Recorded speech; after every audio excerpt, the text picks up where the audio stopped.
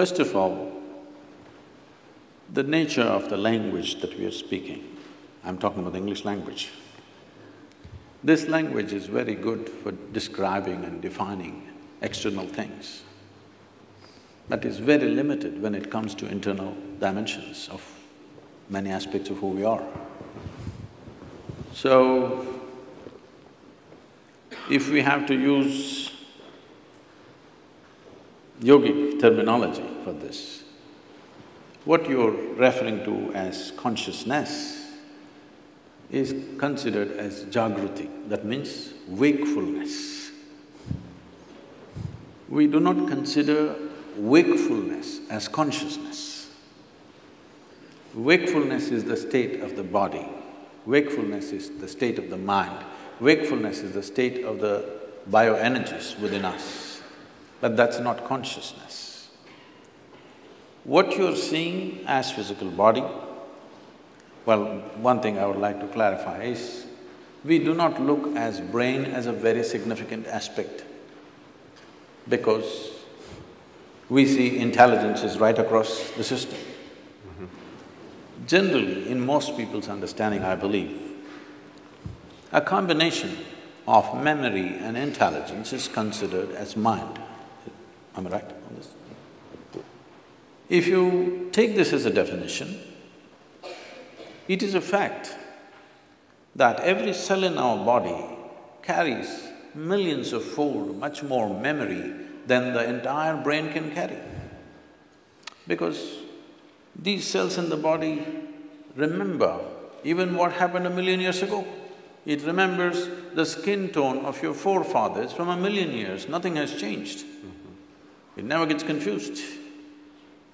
So what you can carry in the brain as conscious memory compared to what every cell or every DNA is carrying is phenomenally more. And the chemical dimension of what is being conducted in every cell is far more complex than you could ever figure with your entire brain. So both in terms of intelligence and memory, the spread is much more. I think this entire focus on brain has come mainly because somewhere, probably uh, pre-Renaissance time, we broke into this because that region, largely we're talking about Europe, where it was hugely dominated by very dogmatic belief systems. When people broke through that, nobody was supposed to think for themselves, everything was already said and done. When people broke through that and started thinking for themselves, thinking little freely looked like absolute liberation for those people. And I think that hangover still lasts in our education systems, in our medical sciences, in the very way we are approaching even fundamental sciences. That hangover, that thought is everything, is very profoundly influencing our social structure and our way of exploration.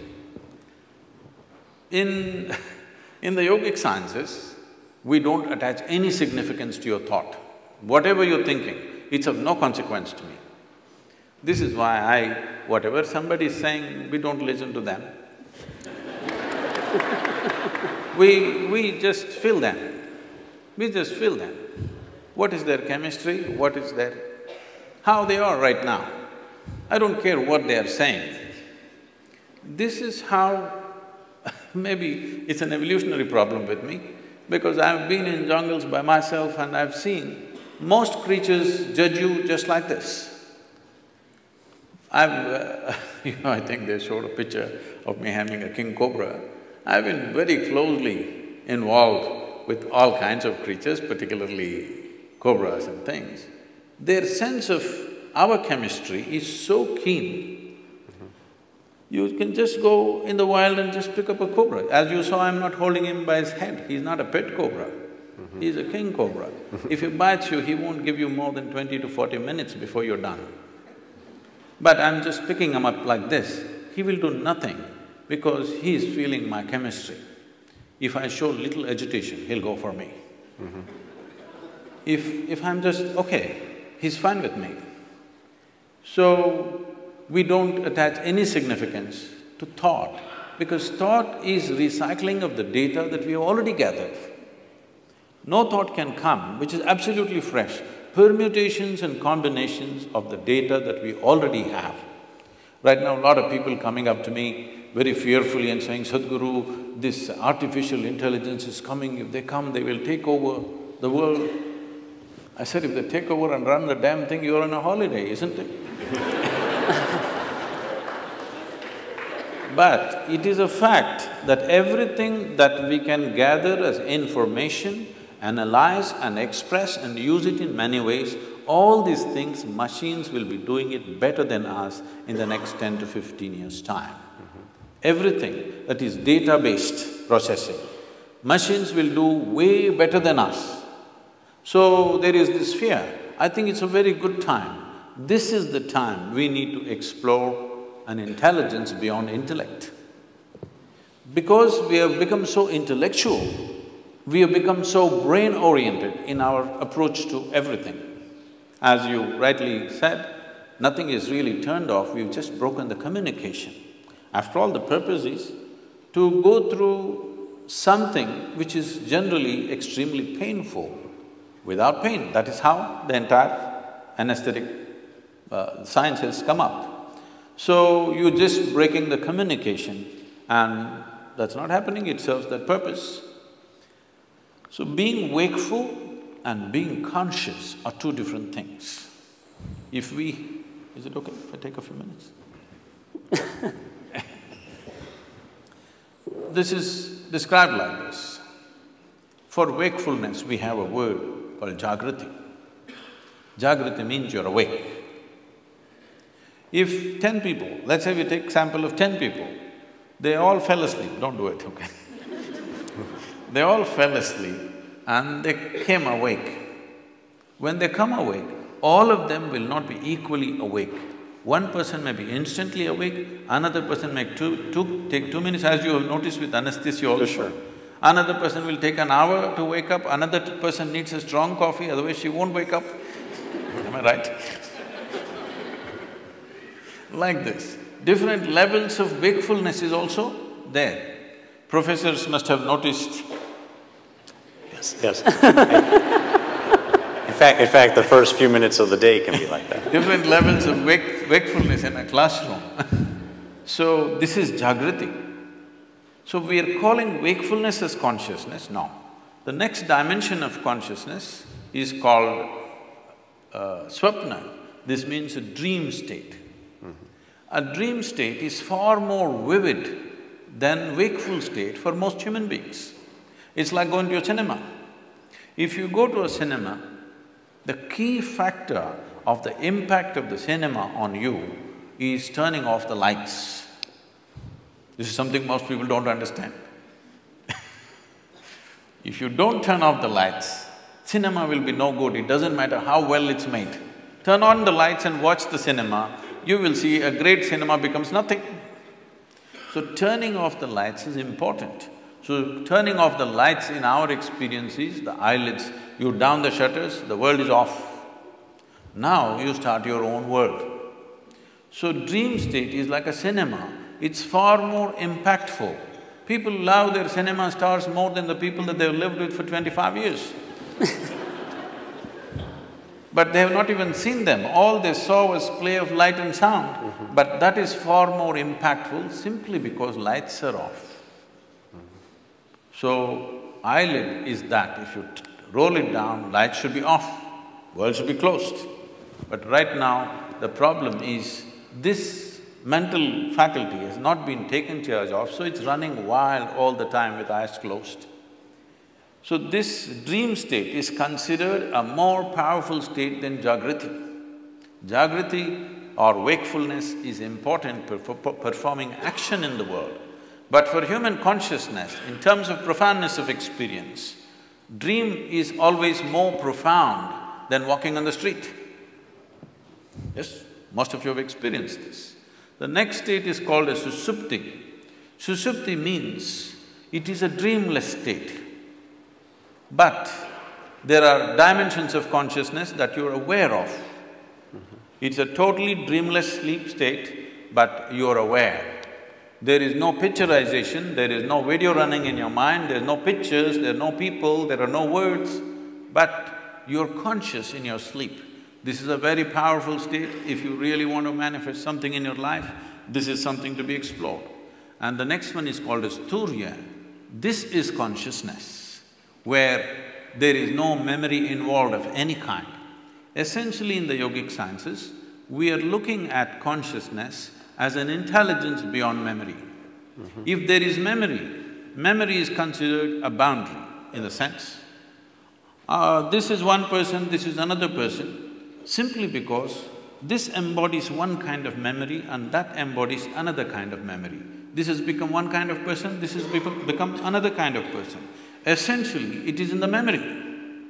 Memory does not mean just what I remember and you remember. Genetic memory is there, evolutionary memory is there, elemental memory is there, atomic memory is there, karmic memory is there. Inarticulate and articulate memories are there, but generally we are thinking memory means consciously what we can remember. Mm -hmm. But today, if we eat dog food, we'll not become dogs. Something within us remembers, no matter what you eat, this has to be only transformed into a human being. Mm -hmm. It doesn't matter what you eat. If you and a cow every day eat a mango, no merger will happen. Perfect memory is established, evolutionary memory is absolute. So, these different dimensions of memory are playing on a daily basis. People are thinking their thoughts are free. it's a joke because your memory is determining everything. So, largely in one single word we call this karma. Karma means the residual impact of all the memory that you have, how it is impacting every thought, every emotion, every action, the very way you sit and stand. Mm -hmm. See, if you… if you see somebody walking far away, let's say half a mile away you see someone walking, if he's your friend, just the way they're moving their body, you say, oh, that's him. There are seven billion plus people. But this particular man walks in a unique way, mm -hmm. all right? Just two-leg walking, everybody walks, but still it is so unique. So this is what we are referring to as karma, that the residual impact of memory, varieties of memory. We rec recognize memory as eight basic forms of memory, which are determining how you are right now. The very way you sit, stand, breathe, understand, perceive life is determined by this memory. But there is an intelligence beyond memory, which we call as turiya or chitta. This is consciousness. Now, every one of us is conscious. The question is only of degree. Even a rock is conscious, a dog is conscious, a pig is conscious. The question is only of degree, how conscious. Even among us, how conscious is different from person to person. So, this degree of consciousness determines everything.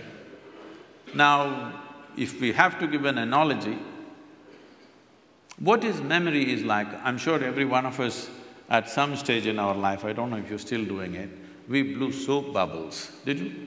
Hello? Come on, everybody raise their hand for anesthesia. Did you?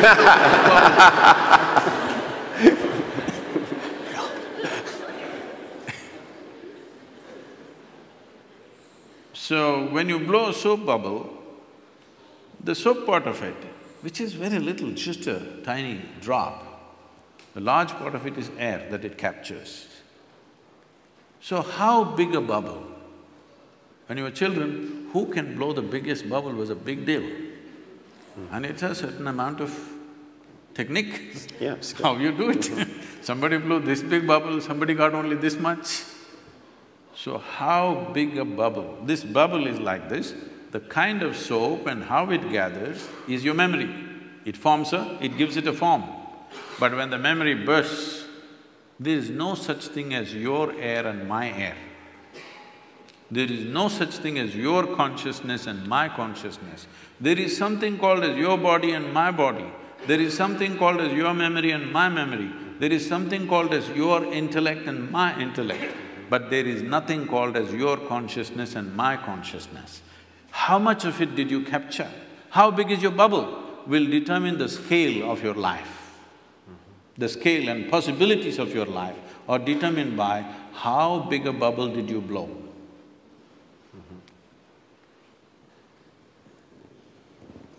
Okay.